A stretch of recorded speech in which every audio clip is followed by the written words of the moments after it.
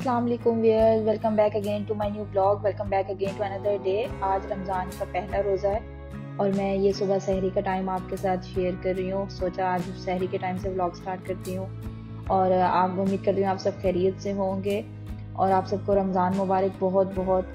और यहाँ पे जी सहरी के टाइम था सुबह सुबह का। मैं तकरीबन पाँच बजे उठ गई थी क्योंकि हमारा रोज़ा जो है वो साढ़े छः बजे बंद होना था तो हम, मैंने दो बंदों की सहरी तैयार करनी थी।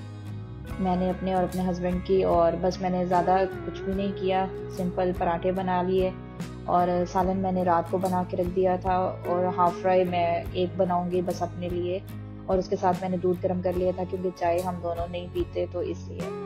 और बस ये सारा काम मैंने कर लिया और उसके साथ फिर मैंने वज़ू भी कर लिया था कि जैसे ही रोज़ा बंद हो तो टाइमली मैं नमाज़ वगैरह भी पढ़ लूँ। और बस मैं यहाँ पे ये एग फ्राई करने के बाद बाकी चीज़ें मैंने साथ साथ ही तैयार कर ली थी। और उसके बाद मैंने टेबल सेट करना है और टेबल सेट करके मैं फिर आपको फाइनल लुक दिखाऊँगी अपने, कि मैंने टेबल पे कैसे सारी चीज़ें सेट की हैं। ये देखें जी, ये दाल थी जो मैंने बनाई थी थोड़ी सी साथ मैंने दाल रखी है। हाफ़ फ्राई था ब्रेड थी और साथ जो कीमे का सालन मैंने बनाया था, वो था पराठे और साथ दही था। बस चाय नहीं रखी थी, चाय की जगह पे हम दोनों ने दूध ले लिया था और ये जी फाइनल लुक है।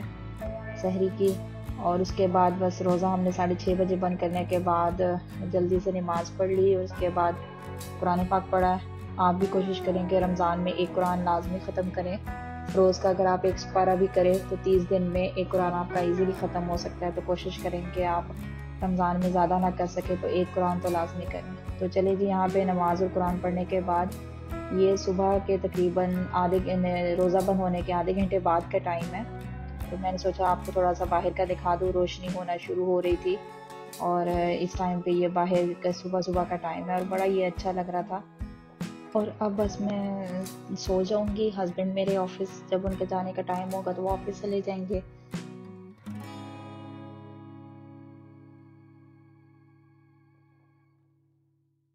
और ये जी सो के उठने के बाद का टाइम है, तकरीबन 11 बजे का। दिन का टाइम है।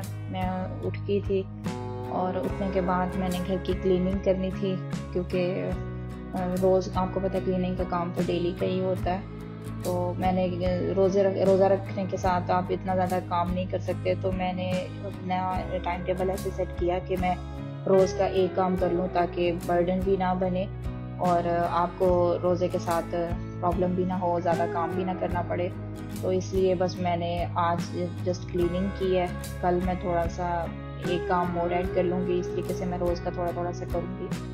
ताकि मेरे काम भी साथ साथ होते रहेंगे और मैं ज़्यादा परेशानी का भी सामना मुझे नहीं करना पड़ेगा। तो आप अपने आप को कोशिश करें कि ज़्यादा से ज़्यादा इबादत में मसरूफ़ कर सकें। और मैंने अपने काम की रूटीन को भी इस तरीके से सेट किया कि मुझे ज़्यादा से ज़्यादा टाइम अपनी इबादत के लिए मिल सके। क्योंकि रमज़ान का आपको पता महीना है और तो जितनी ज़्यादा आप इबादत कर सके, उतना आपके लिए अच्छा है। वैसे भी नॉर्मल दिनों में भी करनी चाहिए इबादत, लेकिन रमा, कहते हैं वैसे भी कि रमज़ान की इबादत का सवाब ज़्यादा होता है। तो आपको इबादत करनी चाहिए। तो मैंने अपनी रूटीन को इस तरीके से सेट किया है कि मैं ज़्यादा से ज़्यादा अपना टाइम निकाल सकूँ। और फिर ये जी बस मैंने आज थोड़ा सा बाहर का भी गेट मेरा बहुत गंदा हो रहा था काफ़ी टाइम से। तो मैंने सोचा इसको भी थोड़ा सा क्लीन कर देते हैं। अंदर की सारी घर की क्लीनिंग कंप्लीट हो गई थी और मैंने ये बस बाहर का गेट था, इसको थोड़ा सा साफ़ करना था। और इसके साथ ही बस ये साफ़ करूँगी। आज का बस मैंने क्लीनिंग का इतना ही किया है। बाकी जो नाश्ते के सुबह सहरी के मतलब बर्तन थे, वो मैंने धो दिए थे और यहाँ पे जी सारी क्लीनिंग वगैरह कंप्लीट हो चुकी थी और मौसम बड़ा अच्छा हो गया था। हवा चलने शुरू हो गई थी, बादल देखें आ गए हैं। तो यहाँ पे मौसम जो है वो बहुत अनप्रडिक्टेबल होता है। तो बस आज का इतना ही ब्लॉग था। उम्मीद करती हूँ आपको मेरा ब्लॉग अच्छा लगा होगा।